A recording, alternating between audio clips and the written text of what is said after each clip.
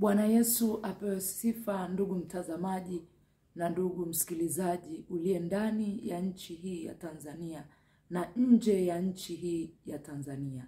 Sauti hii ni sauti ya mtu aliyaye nyikani. Itengenezeni njia ya Bwana, yanyosheni mapito yake. Maana kila bonde litajazwa na kila kilima kitashushwa na kila palipopotoka patanyoka. Somo la leo ni uteketezaji wa moto wa Bwana katika msitu wa South Africa na nchi nyinginezo. Uteketezaji wa moto wa Bwana katika msitu wa South Africa na nchi nyinginezo. Tuone katika kile kitabu kitakatifu kinachotuthibitishia ya kwamba haya yametendwa na yeye aliyeziumba mbingu na nchi kwa ajili ya machukizo na maovu ya wanadamu. Katika Yoeli moja mbili, sikieni haya enyi wazee, sikilizeni enyi wenyeji wote wa nchi. Je, mambo haya yamekuwako katika siku zenu au katika siku za baba zenu? Waarifuni watoto wenu habari yake, na watoto wenu wakawaambie watoto wao, na watoto wao wakawaambie kizazi kingine. Tunaona haya unaoyaona juu ya misitu ya asili inavyoteketezwa na kwa moto na Bwana kwa hasira yake iliyo kali. Ha, je, haya mmeyaona katika siku zenu enyi baba zetu? Mmeyaona haya katika kipindi cha baba zenu? Basi waarifuni watoto wenu na watoto wenu wawaarifu watoto wao katika kizazi kingine. Katika kile kitabu kitakatifu cha sheria ya ufalme cha Yoeli moja kumi na nane ishirini jinsi wanyama wanavyougua, makundi ya ng'ombe wamefadhaika kwa sababu hawana malisho kwa ajili ya uteketezaji wa misitu ya South Africa na nchi nyinginezo, hata Australia ilipokuwa imekumbana na adha hiyo hiyo na maeneo mengine yote ya nchi na nje ya nchi. Naam, makundi ya kondoo pia yamepata mateso. Mstari wa kumi na tisa. Yoeli moja kumi na tisa. E Bwana, nakulilia wewe, e Bwana, nakulilia wewe, kwa maana moto umeala malisho ya nyikani, ndani ya nchi na nje ya nchi, na hususani pia tukiona South Africa ikikumbana na hali ya malisho ya nyikani, moto umeala na miali ya moto imeteketeza miti yote ya mashamba.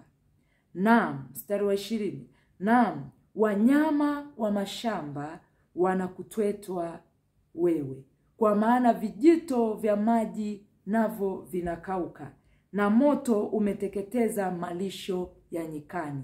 Hapa tunaona jinsi South Africa inavyokumbana na adha hiyo na Australia ilivyokumbana na hali hiyo, na maeneo mengine hata misitu ya nchi hii ya Tanzania ilivyokumbana pia na hali ya moto kuwaka katika misitu ya Kilimanjaro na maeneo mengine yote. Yote haya ni Mungu ameyaachilia.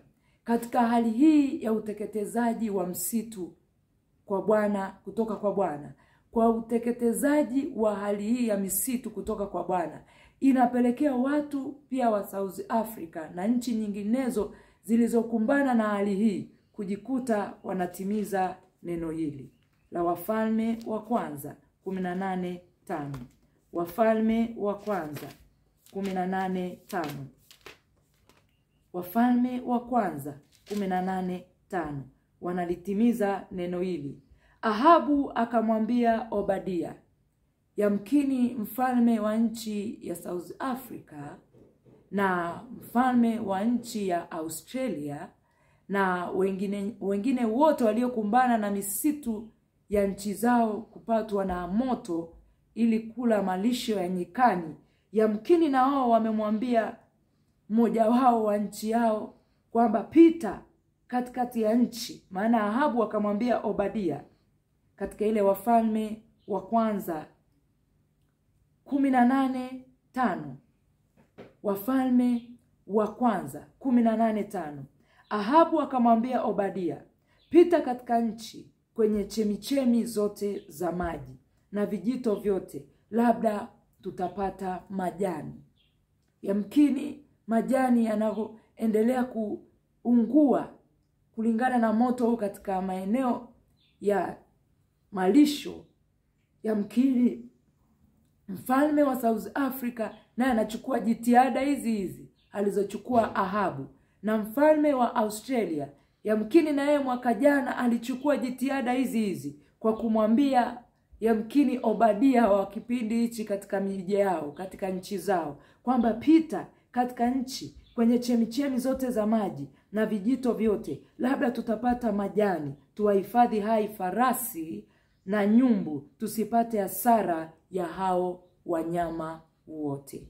Tunahitimisha kwa kuona kwa hali hii watu wanaomboleza, maana wakati huu sio wakati wa kukaa vibarazani pa wenye mzaa, wala wakati wa kufungua magazeti ya udaku, bali ni wakati wa maombolezo na vilio na ole.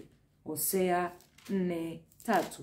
Tuone jinsi watu waliokumbwa na adha ya misitu kuungua alipoamua Mungu kuachilia kwa ajili ya makosa na maovu, watu watajikuta wanaomboleza kwa ajili. Ukiangalia katika hichi kitabu cha Hosea tunapohitimisha kwa habari ya uteketezaji wa moto wa Bwana katika msitu wa South Africa na nchi nyinginezo zilizokumbana na adha hiyo, watu watajikuta wanalia na kuomboleza, na hasa ndio wakati wake wa kulia na kuomboleza, kwa maana ni uharibifu juu ya uharibifu na ni shari juu ya shari. Hawajasovu swala la COVID-19, inakuja uteketezaji wa misitu haijamalizika uteketezaji wa misitu.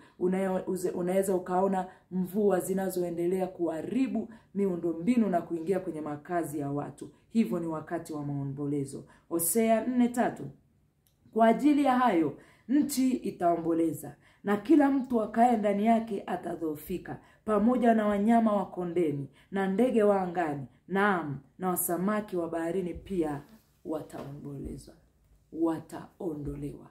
Asomai na afahamu neno hili. Roho ayaambia makanisa, tubu sasa, maana ni wakati wa ole, maombolezo na vilio. Amen.